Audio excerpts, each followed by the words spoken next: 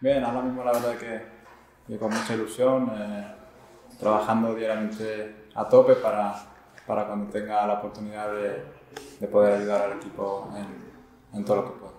Futbolistas somos siempre, ¿sabes? Cuando no juega y cuando juega.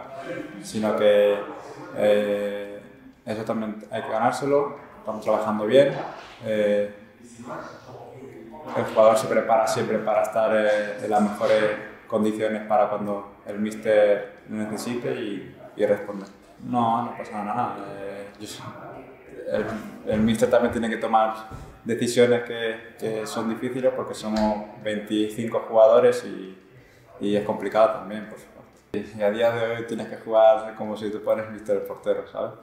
Eh, de extremo también me siento cómodo porque de pequeño, en categorías inferiores siempre también he jugado. Yo creo que de esa posición eh, me puede ir mejor, yo creo, porque teniendo un delantero al lado eh, me ayuda, ¿sabes? Porque yo soy más de venir a recibir, eh, dar balones, ir al espacio y yo creo que de alguna manera ahí me encuentro más cómodo. Hemos estado dos años casi sin, la afición y, por ello desde casa que nos han apoyado hemos estado luchando, yo creo que hemos conseguido eh, buenos objetivos, toca seguir y este es el camino yo creo. Ahora era raro ver gente en el estadio, ¿sabes? Cuando tú entrabas y dices, es que...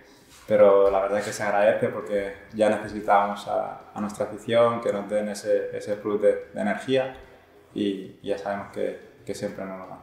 De verdad que me queda la espina de, de no haber podido celebrarlo con, con nuestra gente porque a día de hoy ganar una copa es muy, muy complicado y yo creo que, que eso es de, de todos nosotros, es del, del gran esfuerzo que, que hemos hecho nosotros, tanto como nosotros como la gente desde su casa apoyándonos y, y la verdad que, que por esa parte es una pena. Nosotros nos marcamos eh, trabajar diariamente, eh, ganar el próximo partido de- del Celta y, y así. Intentamos siempre eh, conseguir nuestros objetivos, que es estar lo más alto posible y, y como estamos ahora yo creo que, que podemos hacer grandes cosas. Sí, exacto. Eso luego se demuestra en el campo cuando todos somos aquí una piña, trabajamos bien, trabajamos en equipo, luego se refleja en el campo.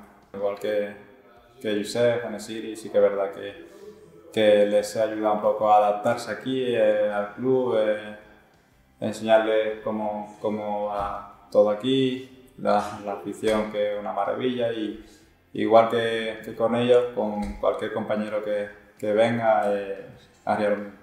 Sabemos que, que el Nesiri ha tenido una evolución muy, muy grande y yo creo que, que si sigue así trabajando como, como lo está haciendo, eh, le va a ir como, como le está yendo.